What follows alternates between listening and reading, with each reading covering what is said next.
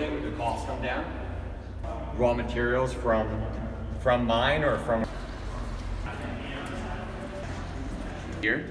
Inside this enclosure, we have the anode and the cathode electrodes, which are very thin foils coated in an active material. Those are rolled up in a jelly roll and packed inside this very densely. The, the annulus, the, the extra volume outside this is filled with uh, an organic um, electrolyte.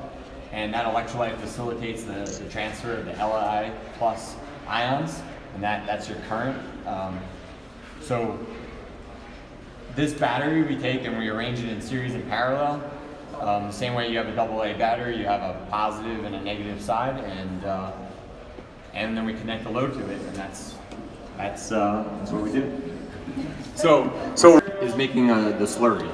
So the slurry comes from the. Uh, we start with uh, some raw powders and a solvent, NMP. Uh, those are all mixed together in uh, these mixing tanks, which are kind of like blenders. And we, we mix up that together and try to get a really homogeneous mixture. And then when we have that, we move up into the next booth, which is uh, coating and, and, drying. And we'll have uh, a couple other people who can tell us a little bit more about that. The mixing machine actually starts on the solvent to make a slurry. Um, we do that and uh, pump it all the way down to the other end of this room, um, where it enters this uh, massive oven. So we bring in rolls of aluminum foil, unroll them at the far end, and also at the far end is a coating booth. And in a process kind of similar to like a printing press, we lay a very thin layer of that wet slurry on top of the metal. Uh, that metal then travels along the length of the oven uh, towards us, and each chamber uh, having a specific airflow rate in and out and controlled to a specific temperature to evaporate that uh, solvent. So that by the time we're down on this end of the oven, uh, that solvent's all gone, uh, and we're left with a thin metal foil with a um, active um, solid active battery material attached to it. We then turn up and go across. Um, essentially the bottom of the foil becomes the top and we coat the other side. Send it all the way back down the other side where we have fully coated foil with uh, two, uh, two active batteries uh, layers on either side of it. Um, this, uh, this oven used to be the single largest electrical load in the factory, um, but with uh, over the last year or so, Panasonic and Tesla working together, we've actually redesigned this oven and, um, and, and, the solvent system that goes with it to cut the electrical load by about 80%. So uh, this is the first of many ovens. There's going to be one here in a few more months um, going in parallel. And where you entered the building, um, that area is going to get built out with even more. So in our kind of request to getting to net energy uh, neutral at this uh, factory, cutting the load and all these big tools is kind of a, a very big deal for us. Um, so yeah, oh, okay. Yeah.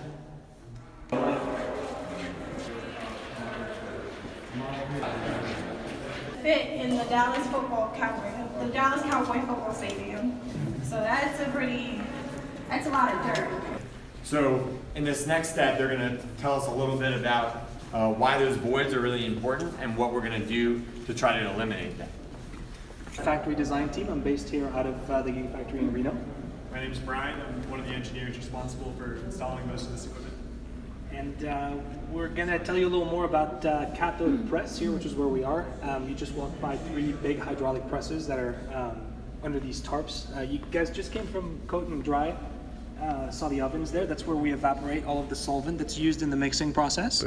Um, at this point, we're controlling the thickness of the electrode to its final uh, thickness. So instead of the solvent, there's a lot of, uh, there's basically porosities left over. We're trying to compress that uh, to our target thickness. And we're looking for uh, roughly the diameter of a human hair as our final thickness. Um, so what we do is try to control that porosity uh, to be able to control the flow of lithium ion into and out of that material. Um, we're trying to compress as much as we can to pack as much active material as we can without disrupting the molecular integrity of the material itself to the point where the lithium ions couldn't really flow into and out of the electrode. Um, so Brian will tell you a little more about uh, how that actually happens over here. Walk you guys through the material flow for this space. Um, so from coat and dry, the room you were just in, the coils now have that active material, and those will actually get loaded into this room behind us. So feel free to come in and take a look. Um, this is uh, essentially a material warehouse. So this is where we kind of store, well, yeah, they're still stored as rolls.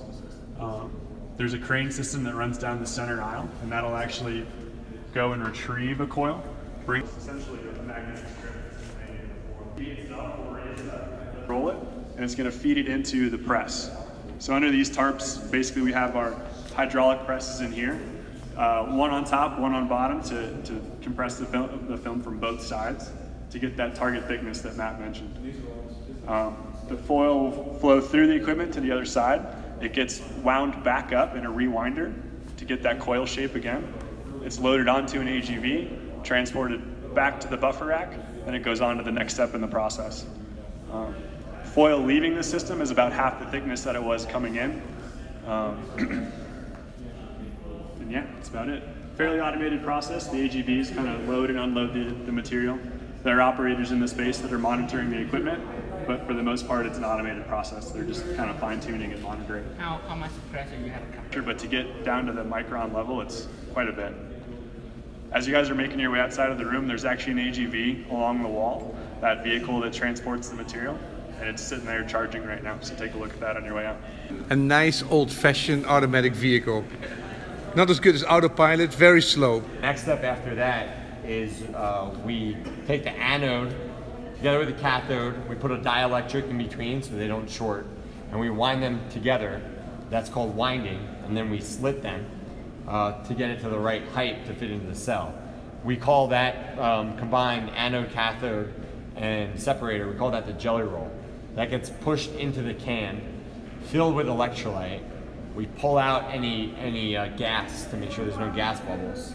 And then we, we crimp the, the cap on it. And then that, that's really the end of the cell manufacturing process. The, the last step after that is called uh, formation. Formation is where we do the first charge and discharge of the cell. And, and that, that process is really critical to, to some of the internal structure and there's actually some chemical reactions that occur during that first charge and discharge. It's a very controlled, uh, it's a pretty expensive process as well. We're gonna see the last part of that called uh, cell aging, which is pretty cool.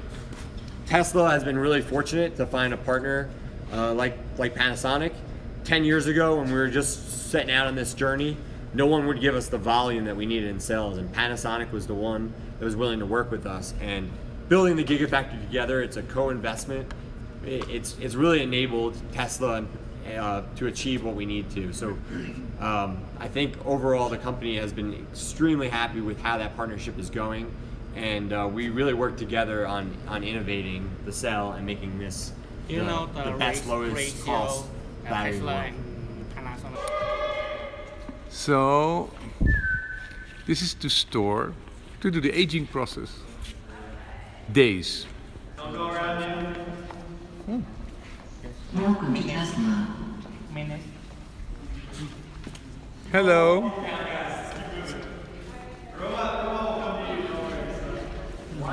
So you guys have kind of been seeing some of the start. Uh, this is the finish.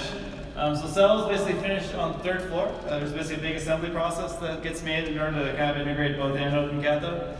Um, then once the finished cells are done, they come down here. Uh, basically uh, come in one of these trays, and then these racks are basically filled with a bunch of these trays with a bunch of these cells. Um, ultimately, uh, ultimately uh, these cells are basically a finished product. Uh, once they're ready to go for Tesla, it's really easy. They just go 10 feet down that way. And that's a really, uh, one of the ways that we're really kind of vertically integrating the factory. Otherwise, generally the cells are made in one factory, modules made in another one, and basically there's a big shipping process in between two. That's a lot of costs, that's a lot of emissions, that's a lot of other pieces as well. Um, yeah, so you guys have basically been walking through B and robots and all sorts of different pieces, and uh, to discuss more on that is my uh, colleague Meredith here. Um, I'd like to know how do you make this? I am, yeah? So that's an AGV, it's an automated guided robot. You're probably familiar with us using robots in our manufacturing processes, which you're about to go see on the other side of the wall. It's super cool. Using robots to move materials around in a factory this big starts to make a huge amount of sense, right? We're moving a lot of stuff really long distances over and over and over and over and over, and that gets really, really expensive. So we can leverage stuff like this, which we call our robot colleagues, right? Uh, to help us move material throughout the facility in a really efficient, really effective way. You heard about, uh, you heard Elon talk about the machine that builds the machine. That's the machine that builds the machine. That's one of the machines that builds the machine, right? It's really, really important uh, to the overall flow of the factory. What you'll see on that AGV right now uh, is these formation trays. Cells go into the formation trays at the end of the cell assembly process, and they'll live in this formation tray until we pick them back out in the Tesla process. What's really different about that is right now we get our cells from overseas. They come in cardboard boxes. Two cardboard boxes would fit uh, one tray's worth of cells. If you look at this cell warehouse, yeah, this fits tens, tens of millions of cells in this warehouse. Think about all of those cells being in boxes, right? That's what we do today, because that's how we have to ship material. This really completely changes the game, right? Because we're under the same roof, we can have this total focus on sustainability and effectiveness, right? This tray can be reused for years versus having. Uh, right now, the, the, they say go back. Come on down, guys. Come on down. 25 megawatt hours of energy 25 25 megawatt hours have been made in this factory, which is used for uh, energy stationary products like the Powerwall. Kilowatt hours and the, the whole uh, pack that gives 100 kilowatt hours.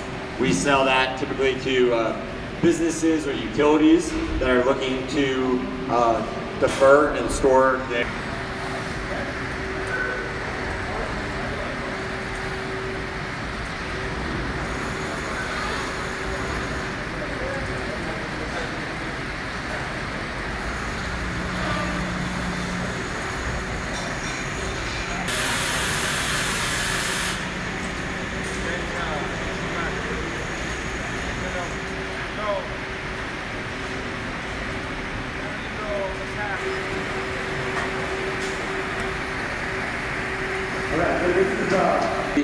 sealant around the outside rim.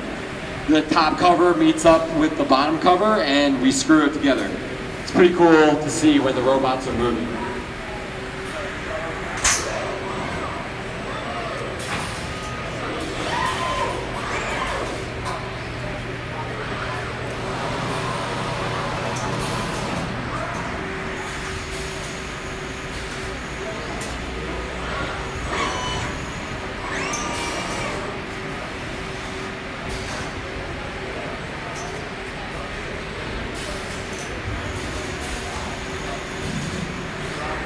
Modules inside the pod. Inside the module, some of these cells are arranged in parallel and others in series to get the right voltage we need for the drivetrain. The PCB that you're seeing here is part of the BMS. I know that's uh, a lot of acronym soup right there. Uh, the BMS is the battery management system. That's what makes sure all the cells are operating properly and it controls the current and the voltage to each cell. Then the, uh, the overall pod is uh, the coolant channels coming in and they run run along the length of the, of the cells. How many kilowatt hours is this one? This, what you're looking at is 6.5 kilowatt hours, I believe, is the, is the rated.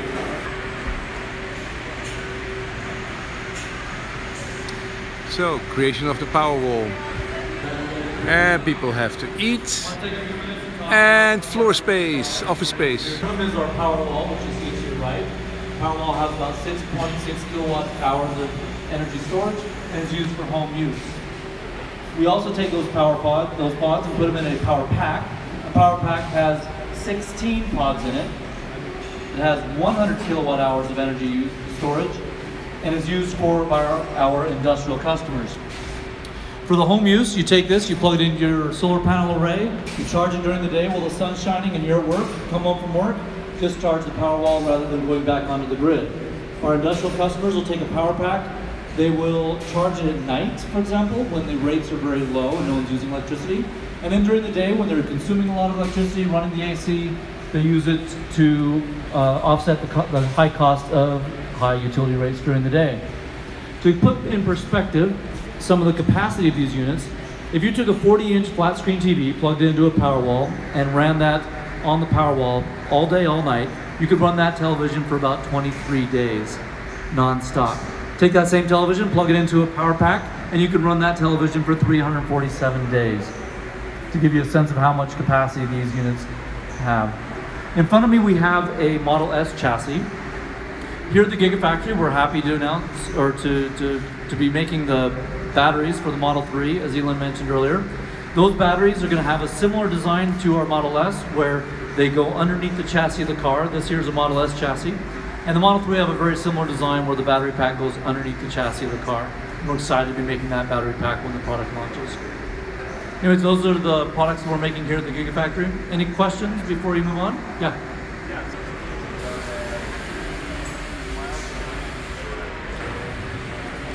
So this is one fourteenth, fourteen percent of the factory, and it's already being used. Lots of pots. On our way to Europe. For low-cost batteries and net zero uh, energy, we we developed our own construction company. We hired uh, construction engineers. We we hired people to design the building, and we we became in addition to an automobile company, an energy company, a software company, we're also now have a construction arm. And uh, we've, we've built this building from the ground up uh, with Tesla and with taking a very fundamental approach. And, and we believe that integrating the building to the final product is the only way we're going to be able to make the best product and the lowest cost product. To say thank you guys for joining us today and coming to see our second home. The production process, so the air handlers, the compressors, the chilled water systems, all that. And then you have more production processes. Which is a copy, more or less, or Uh, di- either different processes. Okay, that was the end of the tour.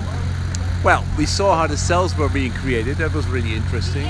And then secondly, how the cells were being used uh, into stationary energy boxes and uh, later they're going to be used in the Model 3, which is not happening at this moment today. They only built three sections. There's nine more to come. You know, so it's just it's going to be seven times more building space. And that building, we also only saw one floor because this thing has three or four floors. So there's all kinds of support mechanism, but there's also more production line. So it's a huge building. Most interesting thing was that they have their own building industry um, company. And I talked to some of the guys, the experts. Some came from the shipping industry, some came from the building industry, some came from the electronics industry. And they really were asked to make a Model S kind of factory, a really new thinking. So there were all kinds of different people from different industries who came together and they're designing this factory. And they're designing this factory to be not, you know, not be the only one, but uh, to be one out of a series. And uh, it's already quite big and it's already quite exciting. It's interesting. I mean, why would I go to a factory which is being built? You know, why, why would I do that? But uh, lots of people do that, and it's really interesting and it's really exciting because you really think that these people are doing a whole new way of designing, building factories, and uh, it shows. But it's amazing. I mean, they make their own factory software. They make their own robot software. They, uh, of course, make their own products. They say we need scale, so we're going to build a factory which is twice the whole production of the whole world. These guys are big balls. And the, everybody you talk to who's working on the design is extremely enthusiastic and is really empowered. Feels empowered. So that's really cool. Let's see if I can find the Model 3 because that's really useful. It's nice they have a lot of offices at the factory floor, on the factory floor. So this is nice. We're um, inside the showroom and we're going to see, take a look at the Model 3 and how different it is. So the Model 3 is now ready and uh, not to be said that this is the final thing, but it looks exactly like the Model S. It's very familiar, only it cuts off here. So it cannot open completely because it has this huge screen which is really uh, nice. No idea how the doors will open. It's definitely a lot smaller than the Model S, but I think inside it seems to be quite wide, quite good. Great. Looks like the Model X, huge screen, but even further, it goes all the way to the back. $35,000 car. It's just amazing. Now the front looks definitely different. Looks more like a Porsche. and uh, but of course it has a frunk. This is actually not a real car. It's um, an empty shell. Dark, we cannot look inside it. But I can tell you, if you would see this car driving around the highway, it doesn't look like a $35,000 car. It looks like a lot, has all the charm of a Tesla Model S.